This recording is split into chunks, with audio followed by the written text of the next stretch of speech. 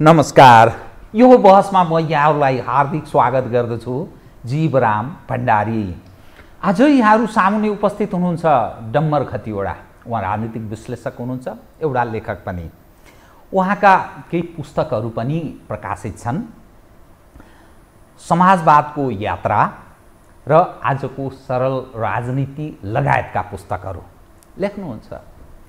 नेपालको राजनीतिक अवस्था विश्व राजनीतिक सन्दर्भ विगतदेखि वर्तमानसम्मलाई केलाउने उहाँको त्यो हुटुटी पनि छ। आज म डम्बर खतिवडासँग अलि फरक ढङ्गले विषयलाई पस्कने प्रयत्न गर्नेछु। नेपाली समाजमा स्वतन्त्र बुद्धिजीवीहरूको त्यो सायद जीविकोपार्जनको समस्याले हुनसक्छ अलि स्वतन्त्र ढङ्गले विवेक ज्ञानलाई त्यो सेयर गर्ने प्रयत्न गर्दैनन्। काहीँ न काहीँ आबद्धता दर्शाएर लाभ र हानिको हिसाब किताबसहित आम दर्शक सामुन्ने पेस हुने प्रयास गर्छन्। डम्बर खतिवडा बालककालमा एउटा कम्युनिस्ट राजनीति अर्थात् तत्कालीन समयको नेकपा माले आबद्ध बाल अखिल यसरी लाग्नु भएको रहेछ। विगतको यसो इतिहास कोट्याउँदा छैसठी सालसम्म त्यो नेकपा मालेको तत्कालीन बाल अखिल हुँदै अनेरा सोब्यू अनि त्यसपछि तत्कालीन माले हुँदै एमाले पार्टीमा आबद्ध। अर्थात् कम्युनिस्ट राजनीतिप्रति उहाँको आकर्षण देखा पर्दछ। तत्पश्चात उहाँले त्यो पार्टी मात्रै छोड्नु भएको देखिँदैन। नेपालमा अर्थात् विश्वमै सायद उहाँले अहिले बताउनुहोला अब कम्युनिस्ट हौँ भन्नेहरूको भविष्य छैन।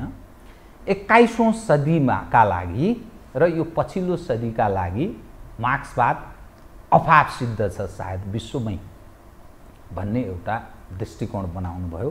र त्यसपछि उहाँको गतिविधिले के देखा पर्छ भने केही समय स्वतन्त्र बसेको पछि डाक्टर बाबुराम भट्टराई भन्ने व्यक्तिले तत्कालीन नेकपा माओवादी र पछि भएको माओवादी केन्द्र त्यो पार्टी परित्याग गरेर आफूलाई स्वतन्त्र ढङ्गले फरक विचारको पार्टी पेस गरेपछि बाबुराम भट्टराईको अनुयायी अर्थात् उहाँसँगै राजनीतिक यात्रा गरेको देखिन्छ। तत्पश्चात मधेस केन्द्रित ठानिने उपेन्द्र यादवसँगको सहयात्रा जसपा हुँदै अहिले फेरि डम्बर खतिवडा अलि स्वतन्त्र तर काहीँ न काहीँ विचारसँग निकट राख्नुहुन्छ भन्ने म ठान्दछु। आज म उहाँसँग नेपालको वर्तमानको राजनीतिक अवस्था त्यो विगतदेखि वर्तमान र भविष्यलाई केलाउने उहाँ मार्फत प्रयत्न गर्नेछु। सर्वप्रथम म उहाँलाई स्वागत गर्छु। सर स्वागत छ है। धन्यवाद नमस्कार। तपाईँ म झन्डै झन्डै समकालीन जस्तो रहेछौँ। त्यस कारण तपाईँ अलि अलि फरक ढङ्गले पेस हुन सक्नुहुन्छ भन्ने म ठान्दछु। त्यसैले म अलिक खुसी पनि छु तपाईँसँग आज कुरा गर्न पाउँदा। तपाईँले अब त्यो सानो बाल मस्तिष्क तपाईँ लेफ्ट मुभमेन्टमा आबद्ध भएको काम गरेको देखा पर्दछ। छैसठी साल अर्थात् तपाईँ छत्तिस सालको जनमत सङ्ग्रहमा होइन सानो उमेरमा पाँच सात वर्षको उमेरमा तपाईँ मा तत्कालीन मालेको अखिलमा आबद्ध हुनुहुँदो रहेछ। छैसठी साल अर्थात् तपाईँ एकदम परिपक्व उमेरको हिसाबले परिपक्व देखिन्छ। त्यस बेलासम्म चाहिँ तपाईँको मस्तिष्क के? बाल मस्तिष्कै थियो। बाल रूपमै हुनुहुन्थ्यो तपाईँ। किन त्यस बेलासम्म कम्युनिस्ट राजनीतिमै आबद्ध हुनुभयो? तत्पश्चात किन छोड्नुभयो भन्ने त्यो अलिक स्पष्ट स्पष्ट पार्नुहुन्छ। स्पष्टीकरण भन्ने नै ठान्नुहोस् यसलाई। त्यसको तिनवटा मुख्य कारणहरू थियो होला भन्ने मलाई लाग्छ। एउटा कुरा त के थियो भने छत्तिस साल भनेको नेपालको राजनीतिमा एउटा विचित्रको संयोगिक युग थियो नि त अवस्था थियो होइन? पञ्चायत असाध्यै कठोर थियो। महेन्द्र भर्खरै केही वर्ष अगाडि मरेका थिए। अठाइस साल। वीरेन्द्र नयाँ राजाको रूपमा पञ्चायतको उत्तराधिकार भएर आइरहेको थिए। अनि यो व्यवस्था कति लामो जान सक्छ कि सक्दैन भन्ने बहस पञ्चायतभित्र पनि थियो। पञ्चायतभित्र पनि बारम्बार उदारपन्थी र कट्टरपन्थी पञ्चहरू भनेर। भनेर झगडाहरू भइरहन्थे होइन? भूमिगत गिरोहको पनि कहिलेकाहीँ कुरो हुन्थ्यो अलि पछि जनमत सङ्ग्रहपछि होइन? यी सारा परिस्थितिमा म जु त्यहाँनिर विद्यार्थी आन्दोलन ठुलो देशमा भड्कियो। त्यसको राँको त्यसको झिल्को होइन देशभरि फैलियो र म बसेको गाउँमा पनि पुग्यो। त्यसपछि अब त्यतिखेरका अखिलको साथीहरूले हामीलाई निमावि स्कुलमा पढ्दै। अब मैले तपाईँले सन्दर्भ त्यसरी नै कोट्याउनु भयो सायद मैले मेरो आफ्नो गाउँलाई स्मरण गर्नु उचित हुन्छ। म सुनसरीको सिङ्गिया भन्ने गाउँमा चाहिँ जनता निमावि भन्ने स्कुलमा पाँच कक्षामा पढ्दै थिएँ त्यतिखेर। तर त्यतिखेर के थियो भने विद्यार्थी सङ्गठनहरू निमावि स्कुलमा पनि युनिटहरू बनाउने त्यस्तो चलनहरू थिए। त्यो इन्भल्भमेन्टबाट मैले जनमत त्यो सङ्ग्रहमा के प्रयोजन थियो होला? त्यो बाल मस्तिष्कलाई राजनीतिमा होम्ने भनेको त्यो त्यतिखेर अधिकांश। अथवा एडल्ट उमेर अथवा भन्नु न समाजको स्थापित भनेका चालिस माथिका मान्छेहरू चाहिँ त्यति धेरै क्रान्तिकारी राजनीतिमा लाग्दैनथे त्यसैले क्रान्तिकारी या भूमिगत पार्टीहरूले चाहिँ युवा विद्यार्थीहरूलाई नै पकडथे क्या त। होमिदिने त्यसपछि त अब त्यो उमेर strategy। क्रान्तिकारी भावना पनि हुन्थ्यो। र त्यतिखेर अर्को यो एउटा पाटो नेपालको सन्दर्भ। दोस्रो पाटो के हो भने विश्व सन्दर्भ त्यतिखेर के थियो त? भन्दा सोभियत सङ्घ छँदै थियो। होइन? चिनमा आस्थाको केन्द्र सोभियत सङ्घ चिनमा थियो। माओ सेतुङ भर्खरै कम्युनिस्टहरूका लागि एउटा अम्ब्रेला। हो। चिनमा माओ सेतुङको भर्खरै निधन भएको थियो। तर उनले गरेको सांस्कृतिक क्रान्तिको प्रभाव चाहिँ धेरै ठुलो थियो।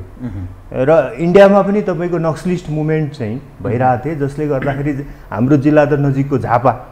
झापाली आन्दोलन भन्ने त्यो चलिरहेको थियो त्यहाँ। के आन्दोलन भन्न रुचाउनुहुन्छ तपाईँ? अहिले चाहिँ तपाईँ सुधारिएको डम्बर खतिवटा के ठान्नु के खाले त्यो एक किसिमले नक्सलवादी आन्दोलनकै नेपाल कपी हो भन्ने लाग्छ मलाई।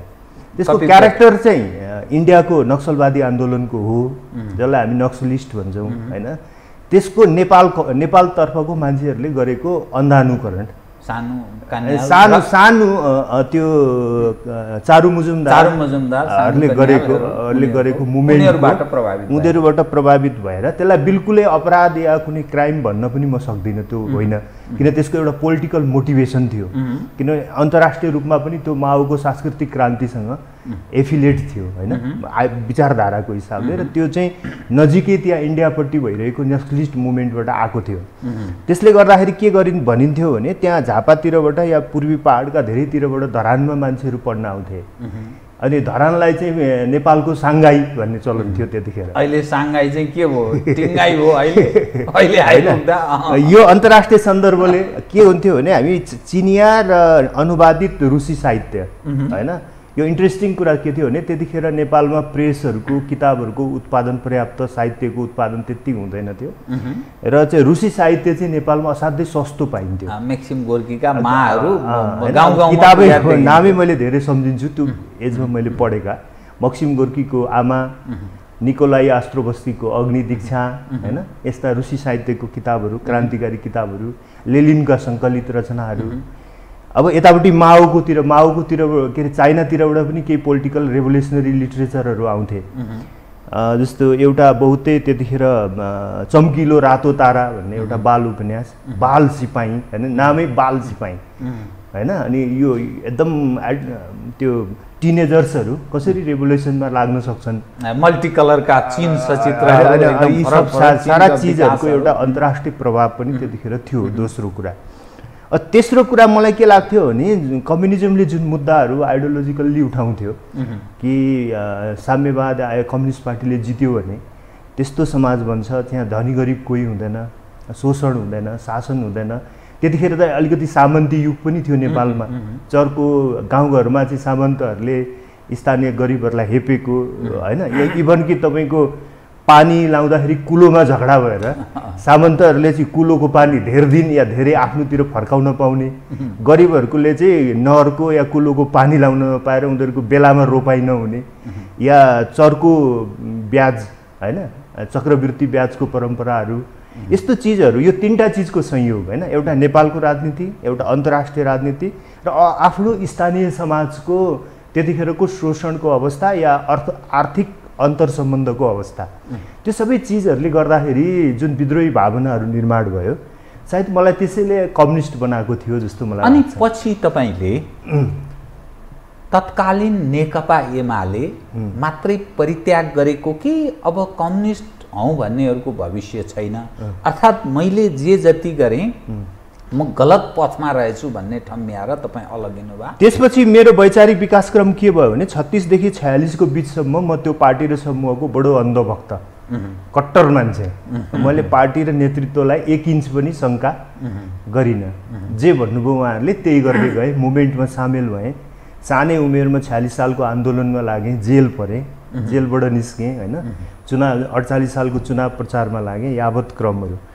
पछि मैले अलिकति अब फेरि अब एउटा चेन्ज त्यहाँनिर मेरो जीवनमा के आयो भने अब म त अङ्ग्रेजी पढ्न थालेँ कलेज पढ्न थालेँ नि त।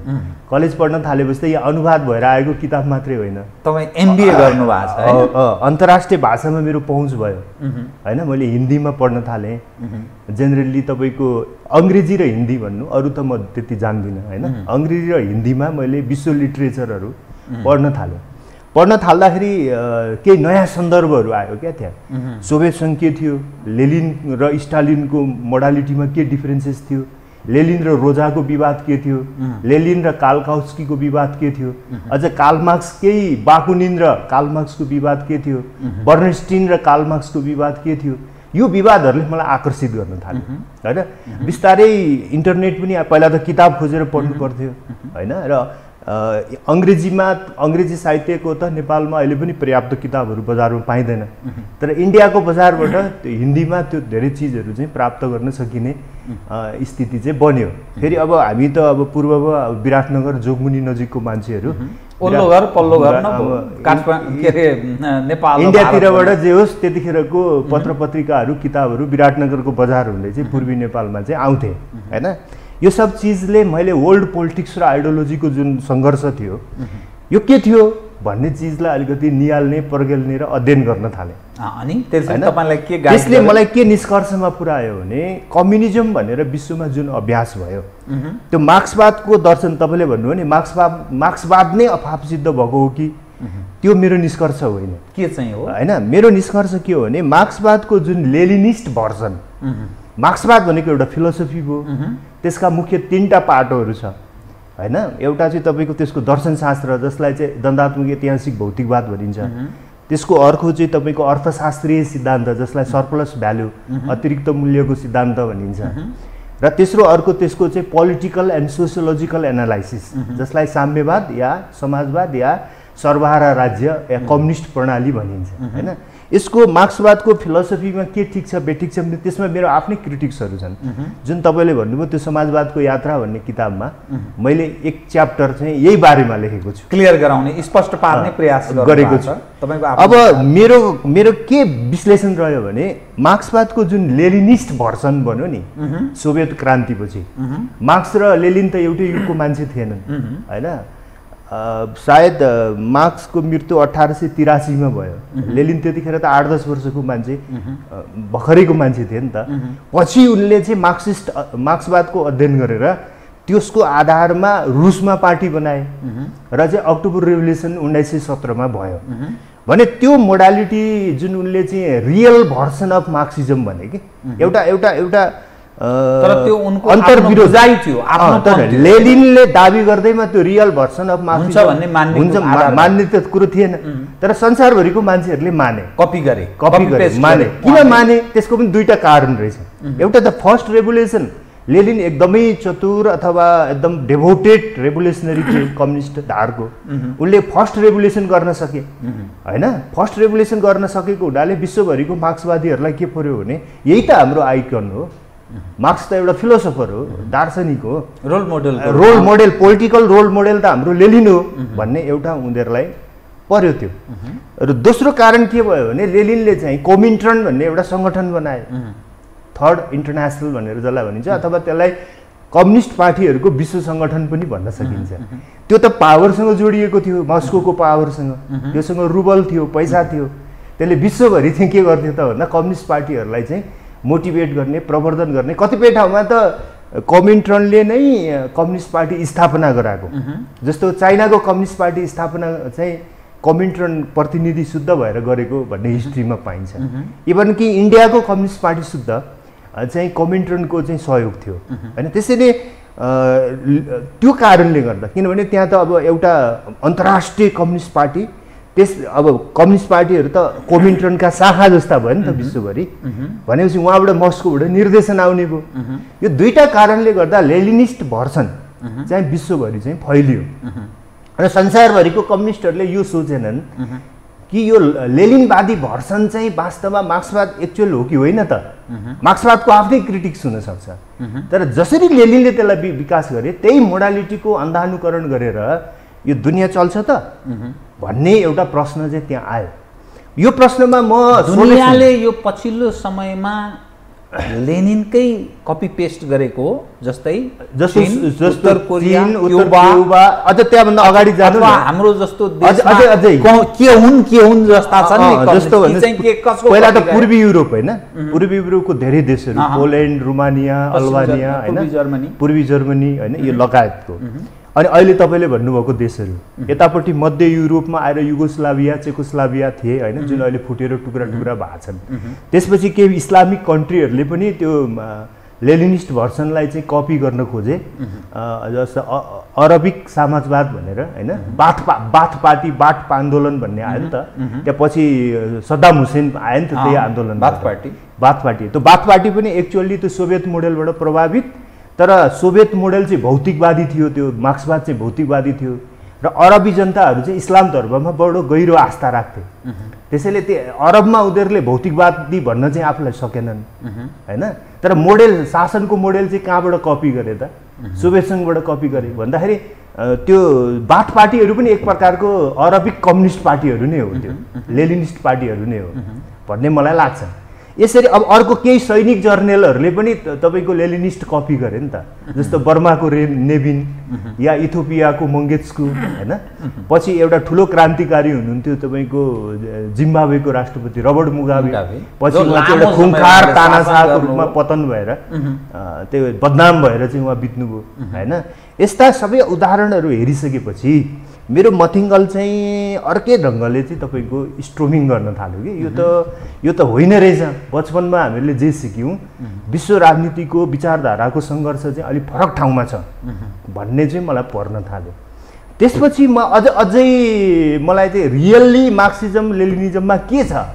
तपाईँको मार्क्सवाद प्रतिको विश्वास चाहिँ अटल छ। अर्थात् त्यसबाट तपाईँ वितृष्णा म मार्क्सवादप्रति पनि म आलोचक हो। म मार्क्सवादको जस्ताको तस्तै स्वीकार गर्दिनँ। तर मार्क्सवादको लेलिनवादी सत्ताहरू जुन निर्माण भयो नि विश्वभरि त्यसको चाहिँ म कटु आलोचकै हो अहिले पनि। साला खाला तपाईँले एक अनि म निष्कर्षमा पुगेँ म तपाईँलाई। भन्छु। किन मैले एमाले पार्टी या कम्युनिस्ट विचारधारा नै परित्याग गरेँ त?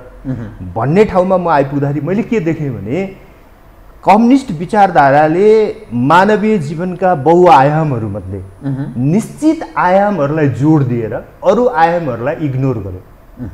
विशेष गरी उसले मान्छेले खाना लाउन पायो भने उसलाई सबै थोक पुग्छ। भनेर आर्थिक समानता भन्ने पाटोलाई चाहिँ उसले बलियो गरी चाहिँ पक्र्न खोज्यो। होइन? तर मानव जीवनको एउटा महत्त्वपूर्ण आयाम आर्थिक समानता त हो। तर त्यो मात्रै पर्याप्त चिज चाहिँ होइन। जस्तो मार्क्सवादले के भन्थ्यो भने मानव जीवनको इतिहासको मुख्य सार तत्त्व चाहिँ तपाईँको के भन्दाखेरि अर्थतन्त्र हो इकोनोमी चाहिँ बेस हो राजनीति धर्म संस्कृति यो अरू सबै चिज चाहिँ के हुन् त सुपर स्ट्रक्चर हुन् भन्ने एउटा सिद्धान्त उसले अगाडि सार्यो त्यो सिद्धान्त अनुसार चाहिँ अरू तत्त्वहरूको महत्त्व चाहिँ के भयो त? घट्यो। तर अहिलेको बिन्दुमा आएर मैले मान्छेको जिन्दगी मान्छेको प्राकृतिक चरित्र उसको नैसर्गिक स्वभाव जुन हुन्छ त्यसको अध्ययन गर्दाखेरि मलाई मार्क्सको त्यो base and superstructure theory जुन छ त्यो चाहिँ गलत छ भन्ने लाग्यो। कि मान्छे आफैमा बहुआयामिक अस्तित्व हो। उसलाई स्वतन्त्रता पनि चाहिन्छ उसलाई समानता पनि चाहिन्छ उसलाई आत्मसम्मान पनि चाहिन्छ उसलाई प्रेम पनि चाहिन्छ होइन? उसका कयौँ इच्छा चाहनाहरू छन् उसलाई समुदाय पनि चाहिन्छ उसलाई आइडेन्टिटी पहिचान पनि चाहिन्छ उसको भाषा संस्कृति इतिहाससँगको लगाव पनि हुन्छ। यी सारा तत्त्वहरू चाहिँ एक फरक फरक र महत्त्वपूर्ण आयामका रूपमा हुन्छन्। कुनै कसैका सुपर स्ट्रक्चर पनि होइनन् कुनै कसैका बेस पनि होइनन्। यी आफैमा एउटा एउटा मोटिभ सेन्टरहरू हुन्। भन्ने निष्कर्षमा म पुगेँ। यो निष्कर्षमा म पुगेपछि मलाई के लाग्यो भने मार्क्सिस्ट आन्दोलनबाट जुन समाज र राज्यको निर्माण हुन्छ त्यो चाहिँ एकाङ्की हुन्छ एक खुट्टे हुन्छ क्या। दुईवटा खुट्टाले मान्छे पूर्णता प्राप्त गर्न सम्भव छैन। एकाङ्की भएपछि के समस्या हुन्छ? हामी एउटा खुट्टाले एकछिन हिँड्न नसक्ने होइन नि। तर दुईवटा खुट्टाले हामी जति लामो हिँड्न सक्छौँ एउटा खुट्टाले त्यति लामो हिँड्न सक्दैनौँ नि। अलिकति अगाडि गएर के गर्छौँ त? खुट्टा थाक्छ लड्छौँ नि त हामी। त्यसै भएर कम्युनिस्ट एक खुट्टाले हिँड्यो कम्युनिस्ट सिद्धान्त र शासन सत्ता। जसले गर्दा त्यो भकाभक ढल्यो। त्यसैले हामीलाई एउटा यस्तो दर्शन चाहिन्छ जो एकाङ्की नहोस्। त्यो चाहिँ दुई तत्त्वहरूको गतिशील सन्तुलन।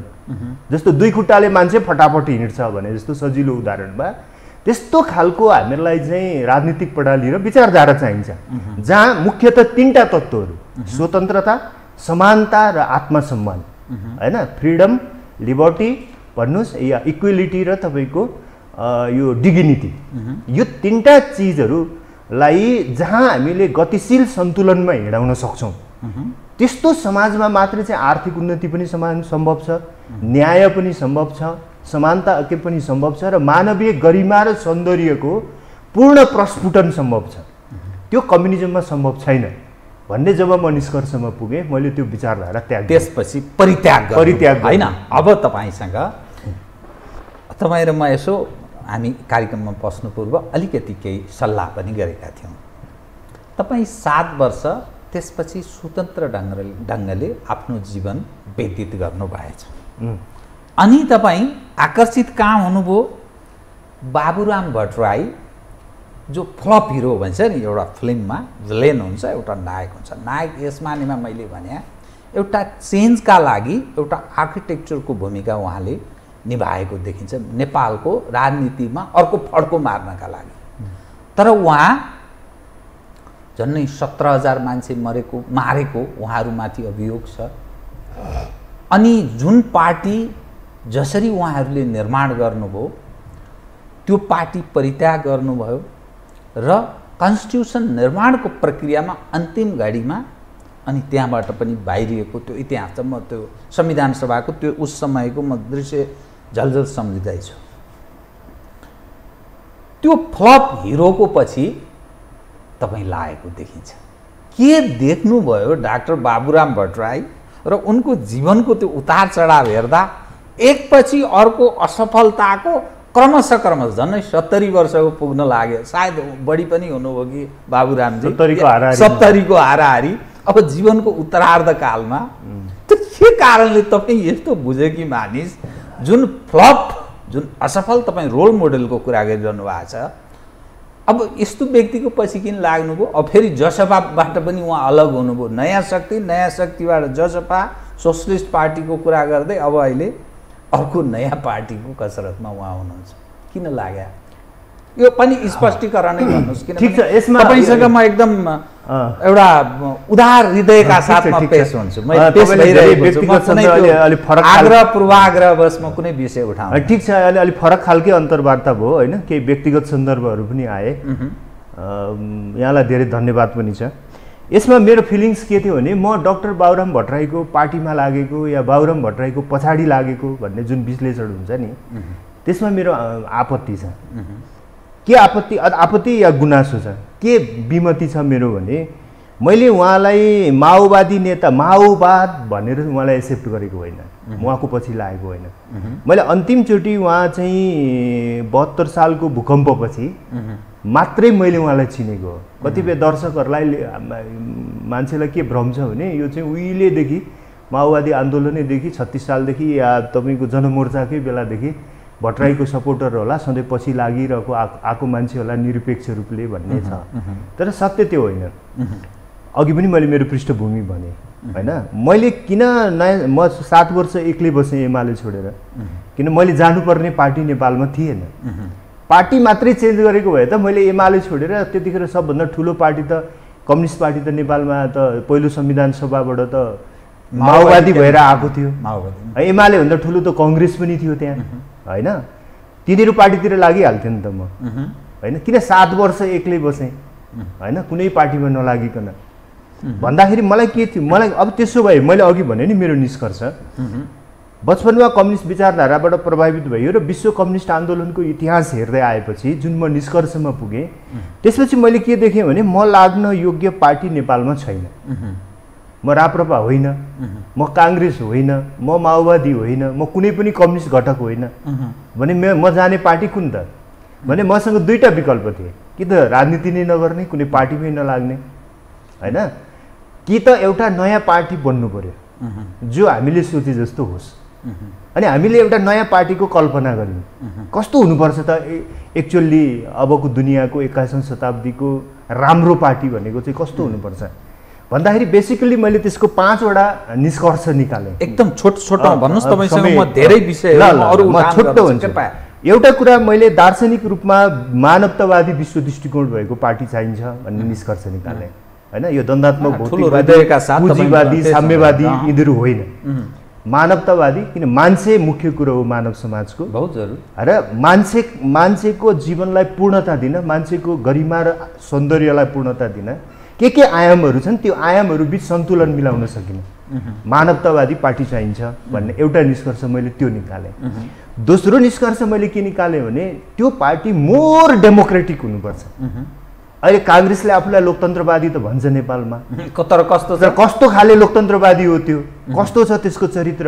लोकतन्त्रको अन्तर्वस्तुलाई त्यसले न्याय गर्न सकेको छ कि छैन भने मैले डेमोक्रेसीको डेमोक्राटाइजेसन भन्छ नि लोकतन्त्र प्रजातान्त्रिकरण। करण अझै त्यो इन डेप्थ डेमोक्रेसी लोकतान्त्रिकरण भन्ने जे भनौँ लोकतान्त्रिकरण तपाईँहरू? जस्तो मानिसहरू लोकतन्त्र भन्ने भाषा दोस्रो। यो दोस्रो। पार्ट हो त्यसैले डेमोक्रेसीको एउटा मोडेल त्यो प्रत्यक्ष होस् समानुपातिक होस् समावेशी होस् होइन? सहभागितामूलक होस्। यस्तो डेमोक्रेसी दोस्रो। तेस्रो कुरा इकोनोमीमा के त? हिजो त हामीले के भने बजार अर्थतन्त्र र तपाईँको राज्य अर्थतन्त्र समाजवादी अर्थतन्त्र मिश्रित अर्थतन्त्र खुल्ला बजार अर्थतन्त्र भन्ने खालका मोडेलहरूको अभ्यास गऱ्यौँ। होइन? या चर्चा गऱ्यौँ। यो बेठिक छन् सबै। यसको ठाउँमा हामीहरूलाई यस्तो खालको इकोनोमीको मोडेल चाहिन्छ जुनमा चाहिँ सामाजिक उत्तरदायित्व सहितको बजार अर्थतन्त्र। बजार अर्थतन्त्र त बजार अर्थतन्त्र तर खुल्ला बजार अर्थतन्त्र होइन।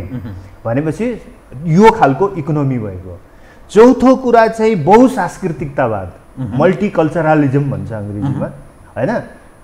यो यो सिद्धान्तलाई स्वीकार गर्ने सामाजिक संरचना भएको र सामाजिक संरचनालाई राजकीय संरचनासँग जोड्ने।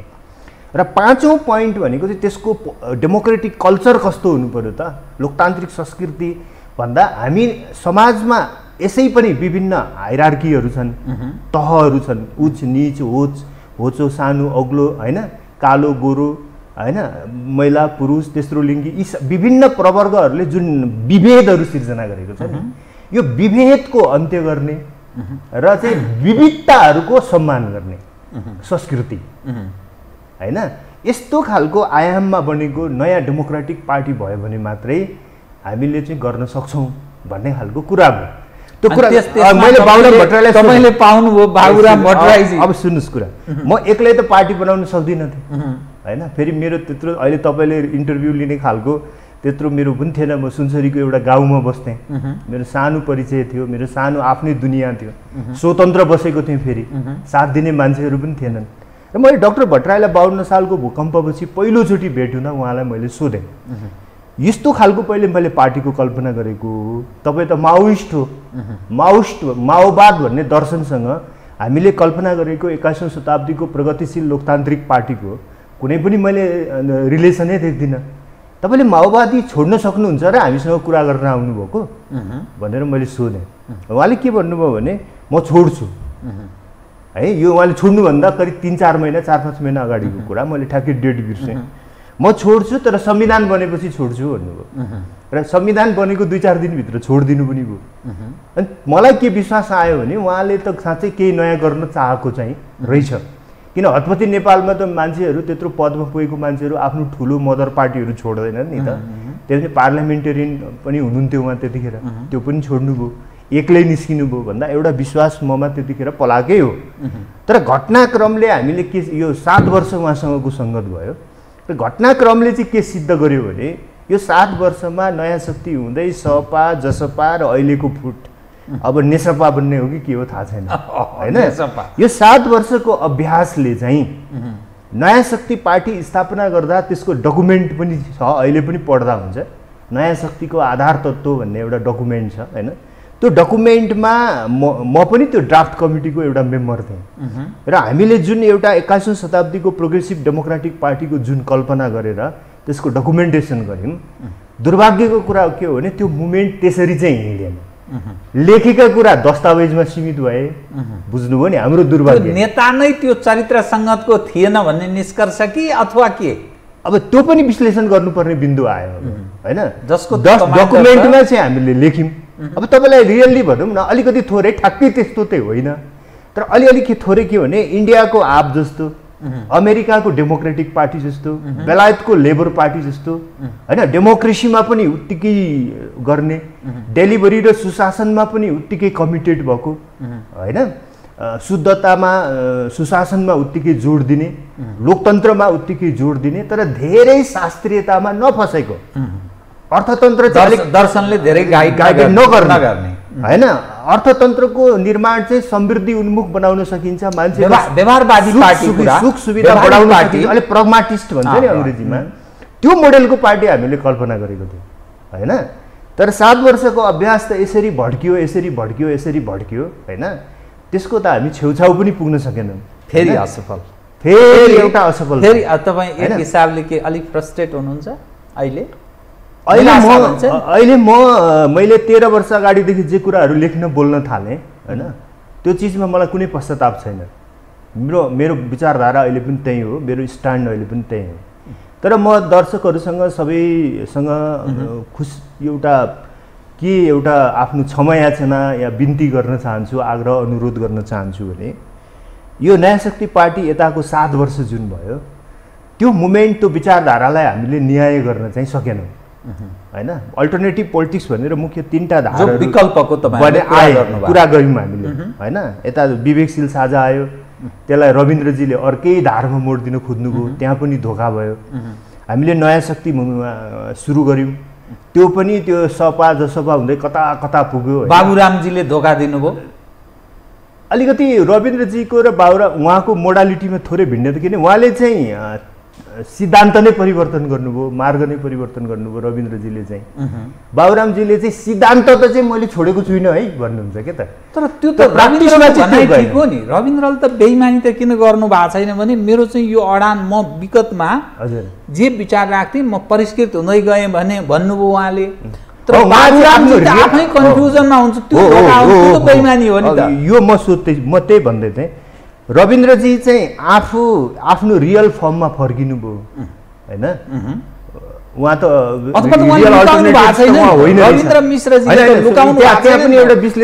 स्पष्ट कसैलाई त्यो विचार मन पर्नु नपर्नु एनदर पार्ट. त्यो किनभने मानिसले त्यो विचार भनेको त आफू सो होइन त्यसमा पनि एउटा विश्लेषण छ। रविन्द्रजीको बारेमा। पनि बडो विनम्रतापूर्वक म के भन्छु सहिदतापूर्वक भने उहाँले अहिले जुन मार्ग परिवर्तन र विचारभन्दा माथि देश भन्नुभयो नि यदि उहाँको उद्देश्य त्यो थियो भने साझा पार्टी स्थापना गर्दा त्यो डकुमेन्टेसन गरेर आउनु पर्थ्यो क्या त्यहाँनिर अहिले त्यो त्यो चाहिँ उहाँले त्यो बिगारेकै हो त्यो कुरा होइन? किनभने मान्छेहरू त चार पाँच वर्षसम्म त भ्रममा पऱ्यो नि त। अथवा जो त्यो त्यो विचार मान्न नचाहने मान्छेहरू पनि जस्तो विवेकशीलवाला भाइ बहिनीहरूको त त्यो त्यो त्यो धार थिएन नि त। उहाँहरू गएर त्यहाँ मिसिनुभयो धोका खानुभयो नि त उहाँहरूले पनि। उहाँहरूले पनि त्यो धोका चाहिँ दिनुहुन्थेन। सुरुमै भन्नु रविन्द्रजीले छोड्ना साथ त्यो सिद्धियो भन्ने हिसाब किताब भयो होइन? अब यतापट्टि हाम्रो नयाँ शक्तिवालाहरूको दुर्भाग्य के भयो भने हामीले डकुमेन्टेसन गऱ्यौँ सिद्धान्तमा स्वीकार गऱ्यौँ होइन? जब प्र्याक्टिसमा लानु पऱ्यो नि त पार्टी भनेको त प्र्याक्टिस पनि हो नि त अभ्यास पनि हो नि त। आफ्नो पार्टी जीवनको अभ्यास उसले कसरी गरिरहेछ नेतृत्व प्रणालीको अभ्यास कसरी गरिरहेछ त्यसबाट के सन्देशको सिर्जना भइरहेछ भन्ने कुरा त महत्त्वपूर्ण हुन्छ। अनि हाम्रो चाहिँ के हो भने त्यो तारतम्य मिलेन। दस्तावेज अब तपाईँसँग नि। अलिकति अरू अरू विषय यो आम जिज्ञासाहरूलाई सम्बोधन गराउने प्रयास गरौँ है। हजुर।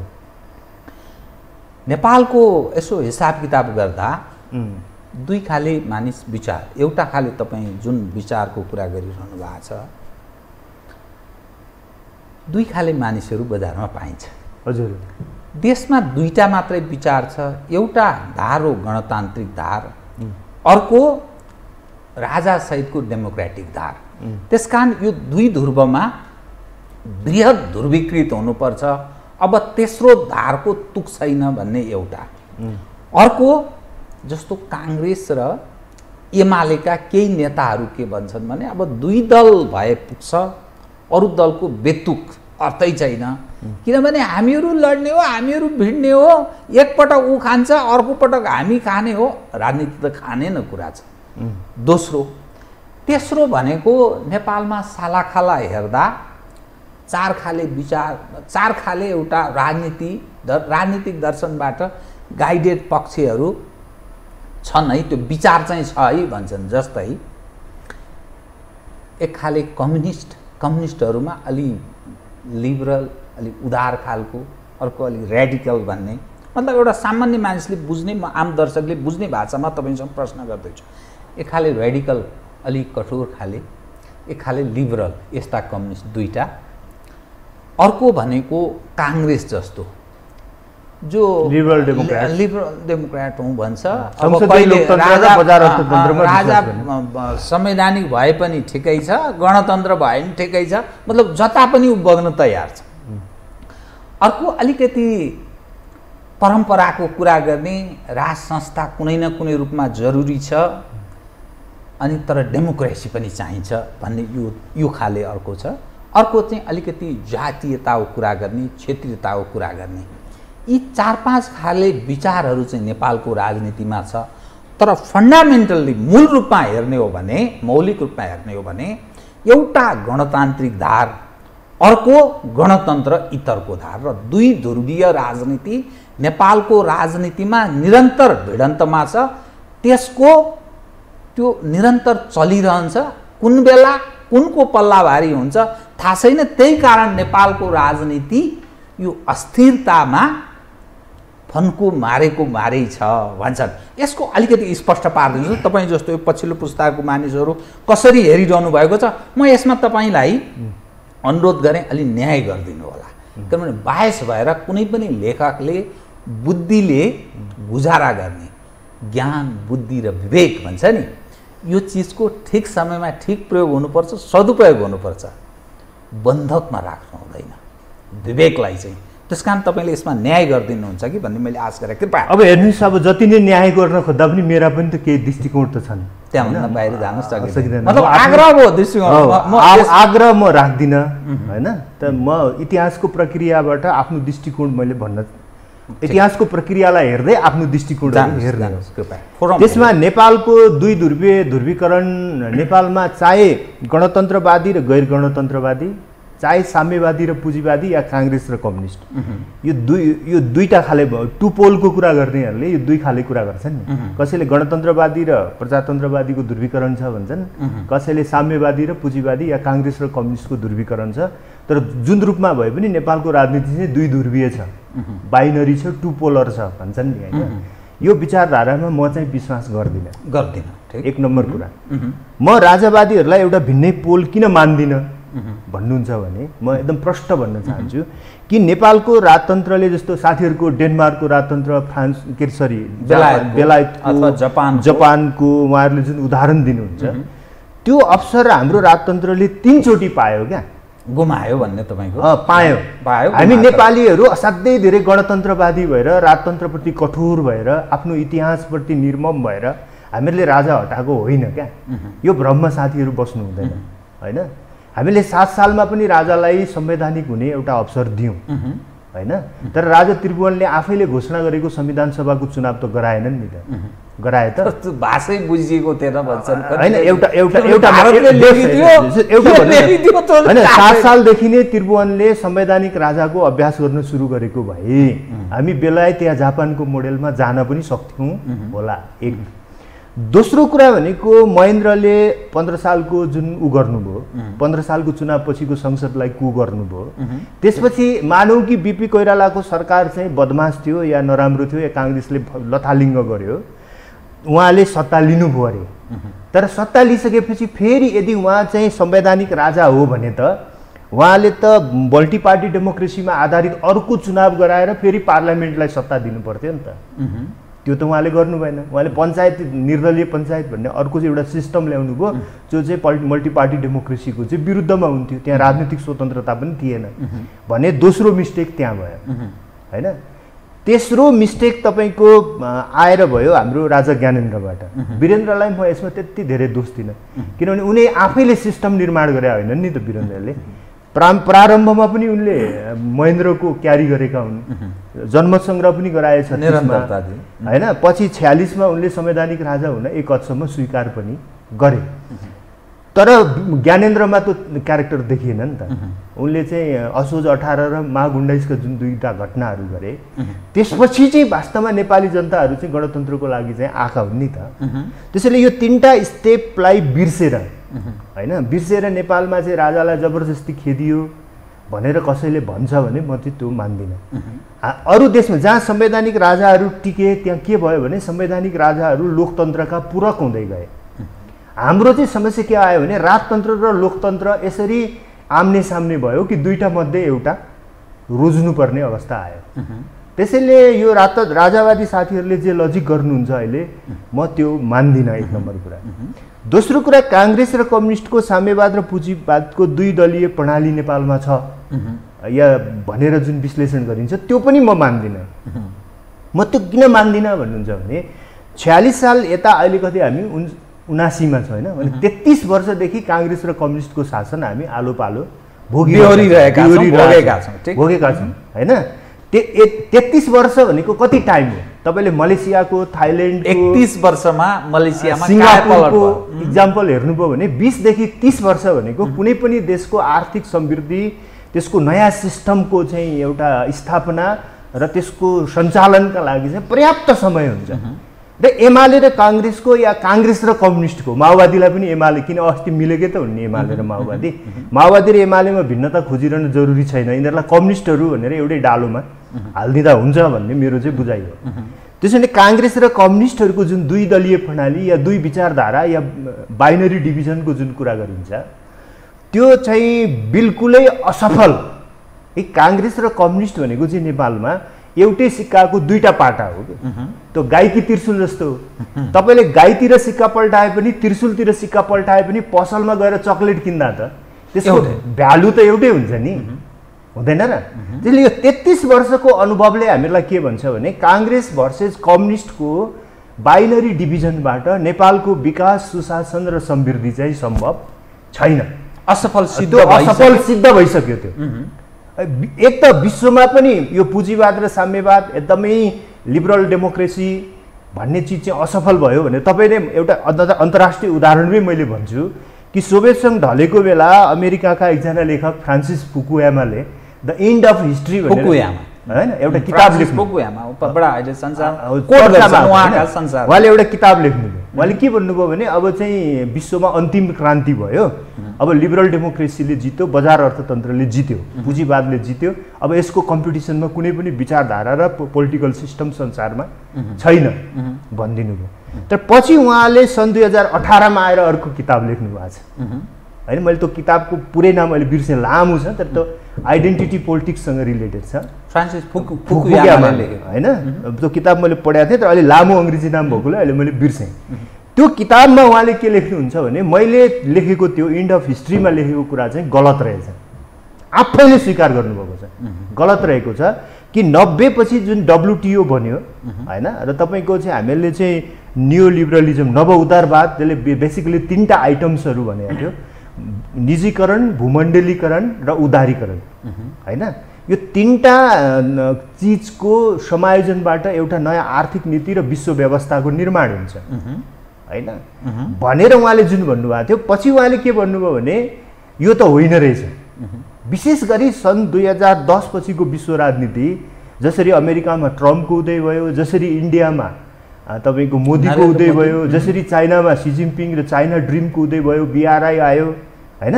यी सारा चिजले के देखायो भने हिस्ट्रीको इन्ड भएको छैन। विचारधाराहरूको अन्त्य भएको छैन। सङ्घर्षहरूको अन्त्य भएको छैन।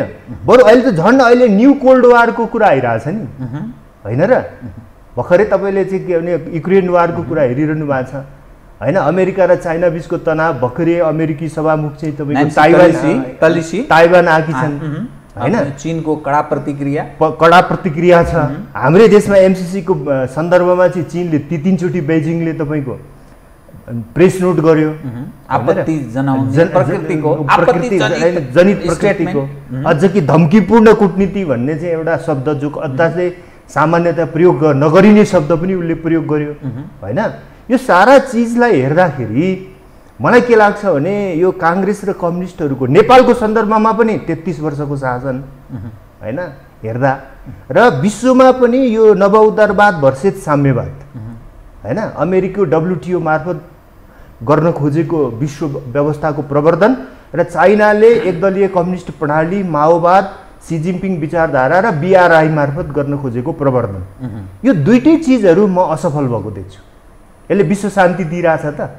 तनाव घटाइरहेछ फ्लप त? भयो फ्लप भयो। यसको यसको नेपालमा पनि काङ्ग्रेस र कम्युनिस्ट फ्लप काङ्ग्रेस विश्वमा पनि उदारवाद र नव उदारवाद र साम्यवाद फ्लप भनिसकेपछि र कम्युनिस्ट फ्लप कि एज अ होलमा यो सिस्टम फ्लप यो सिस्टमको बारेमा चाहिँ मेरो दुई तिनवटा फरक एकदम सर्टमा। भन्नुहोस् न म तपाईँसँग एक दुईवटा अरू छ किन समय धेरै साथ दिँदैन यो यो सिस्टम जुन छ नि हाम्रो यो कस्तो सिस्टम हो पहिला? यो हामीले जुन संविधान बनायौँ बहत्तरको यो बहत्तरको संविधानको हेर्नुहोस् त्यो लेखेकै छ। सङ्घीय लोकतान्त्रिक गणतन्त्र। समावेशिता सहितको अनि यसो हेर्दाखेरि उँट जस्तो अथवा वेस्ट मिनिस्टर सिस्टम पनि हो कि अथवा अर्को खाले हो यसो हेर्दा यो यो यो विचित्रको छ छयालिस सालको संविधान। चाहिँ बेलायती मोडेलमा संवैधानिक राजतन्त्र र संसदीय लोकतन्त्रको क्लियर कट मोडालिटीमा थियो।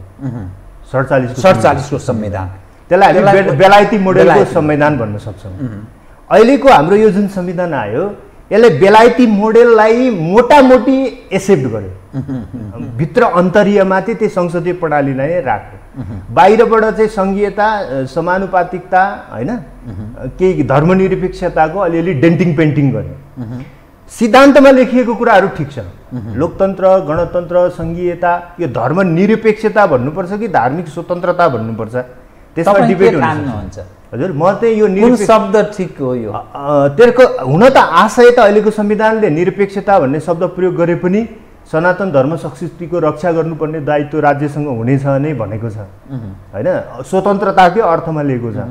तर मैले बुझेको चाहिँ के हो भने निरपेक्षता भन्ने शब्दको जुन उत्पत्ति विश्व युरोपबाट जसरी भयो बेसिकली अङ्ग्रेजीको सेकुलरिजमबाट र त्यो इन्डिया हुँदै नेपाल आयो होइन? त्यो चाहिँ नेपालको लागि चाहिँ असान्दर्भिक शब्द हो भन्ने लाग्छ मलाई। अशान्ततिक होइन? त्यो हाम्रो शब्दकोशमा भएको शब्द पनि होइन। निरपेक्षता भन्दाखेरि त हामी त एब्सुलिट भन्ने बुझ्छौँ नि। एब्सुलिट ट्रुथ प्रभावित निरपेक्षता। भनेको निरपेक्ष शब्द प्रभावित? सेकुलरिजमको नेपाली अनुवाद या देवनागरिक भाषाका दक्षिण एसियाली भाषाहरूको जुन अनुवाद हो त्यो निरपेक्षता ठिक हो कि होइन भन्ने एउटा बहस हुनसक्छ बुझ्नुभयो के त? तर धार्मिक स्वतन्त्रता चाहिँ जेन्युन कुरा हो। त्यो कुराबाट चाहिँ तलमाथि हुन सकिँदैन। एउटा बहस त्यहाँनिर छ। त्यसैले मैले के भन्न खोजेको हो भने यो सिद्धान्तहरू आफैमा नराम्रा होइनन् तर जब प्रिन्सिपल हो नि सिद्धान्त भनेको अङ्ग्रेजीको प्रिन्सिपल। प्रिन्सिपललाई तपाईँ संविधानमा लगेर ब्रेकडाउन गर्नुहुन्छ नि त अब विभिन्न धारा उपधाराहरूमा। होइन त्यसलाई प्रोभिजन भनौँ। होइन हाम्रो नेपालको संविधानको सबैभन्दा दुःखद दुर्भाग्यपूर्ण र त्रासदीपूर्ण कुरा के हो यो बहत्तरको संविधान संविधानको भने यसको प्रिन्सिपल र प्रोभिजन उल्टो छ क्या। बुझ्नुभयो नि? प्रिन्सिपल अनुसारको प्रोभिजन छैनन्। प्रोभिजन अनुसारको प्रिन्सिपल छैन। है यो कन्ट्राडिक्सनमा हामी फसेको कारणले गर्दा हाम्रो सिस्टमले डेलिभर गर्न अहिले सकिरहेको छैन। काम गरेन। काम गरेन। यो अन्तर्विरोध हटाउनु पर्यो। कि त प्रोभिजन अनुसारको प्रिन्सिपल बनाउनु पर्यो कि त प्रिन्सिपल अनुसारको प्रोभिजन बनाउनु पर्यो। मतलब? यही यो- अब-। अब चल्न सक्दैन भन्ने। तपाईँको निष्कर्ष होइन चलाइयो भने पनि जस्तो अहिले हामीले चलाइयो भने पनि जबरजस्ती केही समय के- धकेलिने चल्छ, मात्रै हो। धकेलिन्छ रिजल्ट आउँदैन तेत्तिस वर्ष अन्तत्वगत्वा यसले मृत्युवरण गर्छ जस्तो तेत्तिस वर्ष भनिम् अहिले पनि हामी यही चलाउन चाह्यौँ भने कुनै बेला यसलाई हामीले चालिस वर्ष भनौँला कुनै बेला पचास वर्ष भनौँला तर पचास वर्षपछि पनि हाम्रो डिबेट यही हुन्छ क्या। पचास वर्षमा पनि किन देश बनेन? अहिले हामी तेत्तिस वर्षमा पनि किन देश समय? हामी बर्बाद मात्रै समय मात्रै बर्बाद गरिरहेछौँ। यही व्यवस्था हामी अन्ठाउन्न सालतिर गरिरहेको थियौँ हो कि होइन भन्नुहोस् त? राजा ज्ञानेन्द्रको शासन आउनुभन्दा अगाडि शेरबहादुर देउपा या छप्पन्नको चुनावपछि काङ्ग्रेसमा जुन समस्या देखा पर्यो त्यसपछि हाम्रो चाहिँ संसदीय लोकतन्त्रले विकृतिको युग भन्ने आयो नि एउटा प्राडो पजेरो सुत्केरी भत्ता के के खाने उ गर्ने सांसद किनबेच थाइल्यान्ड भगाउने के के। त्यो पिरियड र अहिलेको पिरियडको डिफ्रेन्सेस के त? अब? तपाईँसँग म कार्यक्रमको ठिक अन्त्यमा आएँ कि? मसँग समय भएन मेरो पाबन्दीलाई कृपया यहाँले बुझिदिनुहुन्छ। संसारमा नभएका विकृति विसङ्गति र यो साउथ एसियामा सर्वाधिक कन्त बिजोग बेहोर्न बाध्य भएका नेपाली जन जो छन् यसका प्रमुख सर्जक भनेको अहिलेकै राजनीतिक दलका अगुवा। जसले तेत्तिस वर्षदेखि निरन्तर शासन गरेको छ जनताबाट पटक पटक अनुमोदित छन्। पटक पटक अनुमोदित छन् यसको अर्थ नेपाली जन यो खालको जो फ्रिडम छ अर्थात् दलीय प्रतिस्पर्धात्मक राजनीतिका लागि योग्य छैनन् भन्ने बुझ्ने कि या कुन त्यस्तो तत्त्व छ जसका कारण यी राजनीतिक पार्टी र तिनका नेता सम्पूर्ण विकृतिका जड छन्। विदेशीहरूको क्रीडा स्थलका लागि उनीहरू अनुकूल छन्। समग्रमा नेपाल उप प्रश्न उठेको छ आम मानिसले प्रश्न उठाएका छन्। गरिबीमा झन्झन थिचिँदै थिचिँदैछन्। यसो सर्र हेर्दा वैकल्पिक शक्ति यो हो भनेर क्लियर सहित तागतका साथ उपस्थित पनि देखिँदैन र फेरि यस्तै चलिरहन्छ भने यसको मूल कारण चाहिँ के कसरी हेर्नुहुन्छ तपाईँ? अब यसमा चाहिँ हाम्रो इतिहासको सञ्चिति भन्ने एउटा शब्द हुन्छ। एकुमुलेसन अफ हिस्ट्री वा हिस्टोरिकल टेन्डेन्सी भन्ने हुन्छ। त्यसले के बुझाउँछ भने हामी हाम्रो राज्यको जन्म कसरी भयो? हामी कस्ता कस्ता प्रक्रियाहरूबाट हुर्किँदै आयौँ। ती चिजहरूले हाम्रो मस्तिष्कलाई हाम्रो अवचेतन सामूहिक अवचेतन हुन्छ नि त्यसमा कस्तो छाप या आइकनाइजेसनहरू गर्यो। र त्यो चिजहरूबाट हामीले राजनीतिलाई राज्यलाई समाजलाई अर्थतन्त्रलाई कसरी बुझ्यौँ भन्ने कुराहरूको एउटा समग्र विश्लेषण गर्नुपर्ने हुन्छ। हाम्रो राज्य मूलत निरङ्कुश चरित्रबाटै आएको हो। पृथ्वीनारायण शाहको एकीकरण त्यसमा हामी धेरै नजाऊँ तर त्यसपछि उहाँका उहाँका छोरा विस्तारवाद त भन्नु न। अहिले अहिले त्यसमा आज अलि लामो जान्छ तपाईँको प्रश्नतिर प्रवेश गर्न पाइँदैन। जस्तै उहाँका छोरा रणबहादुरदेखि नै तपाईँले हेर्नुभयो र सुरेन्द्रसम्म आइपुग्नुभयो भने त्यो पिरियड पनि खासै गतिलो छैन। दरबारिया काठमार यो विभिन्न आदि इत्यादि। राणाहरूको युग आयो। होइन? कोत पर्व भयो। यो सबै चिजले हाम्रो पोलिटिक्समा पञ्चायत आयो। यी स यी त मोटामोटी सबै निरङ्कुश र पारिवारिक शासनहरू नै हुन् नि त। निरङ्कुश र पारिवारिक शासनहरूले नेपालको काङ्ग्रेस कम्युनिस्टहरूको एउटा कल्चरल जिन सांस्कृतिक अनुवंश निर्माण भयो। त्यो कम्युनिस्टहरू भन्दा पनि निरङ्कुश हो पञ्चायत राणा? मोटामोटी राणा त अवश्य अवश्य हो। पञ्चायत चाहिँ? पञ्चायत चाहिँ कम्युनिस्टहरू र कम्युनिस्टहरूको यो सोभियत सङ्घ चाइना हेर्नु र नेपालको पञ्चायत हेऱ्यो भने त्यो झन्डै उस्तै उस्तै हो त्यो। उस्तै हो। झन्डै किनभने त्यहाँ पनि निर्दलीय चुनाव हुन्छ एक पार्टीको शासन हुन्छ। होइन? निर्द पञ्चायतमा पनि त निर्दलीय लोकतन्त्र त थियो नि त। व्यक्ति उम्मेदवार भएर चुनाव हुन लड्न त पाइन्थ्यो नि त। होइन? त्यस हुनाले त्यो हो। त्यसैले यो सब चिजबाट के हो भने राजनीति भनेको चाहिँ पिपुल्सलाई डेलिभर गर्नु। भन्ने हाम्रो बुझाइ कहिल्यै बनेन क्या। यो कुनै पनि युगमा। राजनीति भनेको के हो भने शक्ति आर्जन गर्नु र वर्चस्व स्थापित गर्नु। भन्ने चाहिँ बन्यो। त्यसैले यहाँको हरेक नेताहरू वर्चस्वको लागि दसजना मात्रै भएको भयो भने पार्टीको अध्यक्ष हुन चाहन्छ है? त्यही नै देखियो हाम्रो टेन्डेन्सी कि वर्चस्वको राजनीति। यो चिन्तनबाट जबसम्म हामी मुक्ति हुँदैनौँ जतिसुकै पार्टी बनाउन खोजे पनि केही हुँदैन। अर्थात् विकल्पको विकल्पको सान्दर्भिकता निरन्तर छँदैछ। विकल्पको सान्दर्भिकता छ तर विकल्प विकल्प जसरी आउन नसक्नुको के हो कारण के हो भने विकल्प दिन्छौँ भन्नेहरूको पनि चिन्तन चरित्र चाहिँ फेरि पुरानाकै जस्तो छ। यसको अर्थ तरल राजनीतिक अवस्थाबाट गुज्रिरहेको छ। हामी। एउटा यस्तो जटिल सङ्क्रमणको बिचमा छौँ। यद्यपि यो राजनीतिको चल्ते चलाते भाषामा संविधान आइसकेको सिस्टम अपरेट गरेकोलाई के को सङ्क्रमण? सङ्क्रमण त हिजो बहत्तरको संविधान बन्नुभन्दा अघि थियो भन्ने त्यो चाहिँ न्यारो कुरा हो त्यो। त बृहत अर्थमा चाहिँ हाम्रो सङ्क्रमण के छ त? कायमै छ। जस्तो अमेरिकाले आजभन्दा कति दुई सय चालिस वर्षभन्दा पनि धेर हुन्छ होला होइन? अघि सत्र सय छिहत्तरमा आफ्नो संविधान बनायो। उसले कहिले फेर्नु परेको छैन? संशोधन मात्रै गर्दा पुगेको छ। उसको सिस्टम अपरेट गरे ठिक छ बेठिक छ आफ्नो ठाउँमा छ नि। तर सिस्टम अपरेट गरिरहेछ नि त। होइन? र त्यसबाट एक प्रकारको डेलिभर पनि उसले गरिरहेछ। आजभन्दा चालिस पचास साठी वर्ष अगाडि त अमेरिका विश्वको सुपर पावर त थिएन। बेलायत कति ठुलो सुपर पावर थियो फ्रान्स रुस कति ठुलो सुपर पावरहरू थिए। तर उसले एउटा आफ्नो स्ट्याबिलिटीबाट डेमोक्रेसीको एउटा प्रोसेसबाट होइन? आफूलाई विश्व रङ्गमञ्चमा त ल्यायो नि त। तर हामी कहाँ हामी हा- हामी कहाँ त दुई सय पचास वर्ष अगाडि त्यस्तो कुनै सिस्टम त बनेन। जसलाई हामी क्यारी गरेर दुई सय तिन सय वर्ष हिँडौँ होइन? भने यो अहिले पनि हामी सङ्क्रमणमै छौँ भन्छु म चाहिँ। होइन? र हाम्रो नेपालको लागि उपयुक्त विधि तरिका के हो? भन्ने बहस चाहिँ अद्यपि छ। हस् धन्यवाद छ है त तपाईँलाई कार्यक्रममा आइदिनु भयो धन्यवाद नमस्कार। आदरणीय दर्शकवृन्द उहाँ हुनुहुन्थ्यो डम्बर खतिवडा। राजनीतिक विश्लेषक तथा लेखक समसामयिक विषयलाई केन्द्रमा राखेर कतिपय विषय उठान गर्ने जमर्को गरियो। म सहित सम्पूर्ण युनिटलाई कार्यक्रमबाट बिदा दिनुहोस् तर यो टेलिभिजन हेर्दै रहनुहोला। नमस्कार।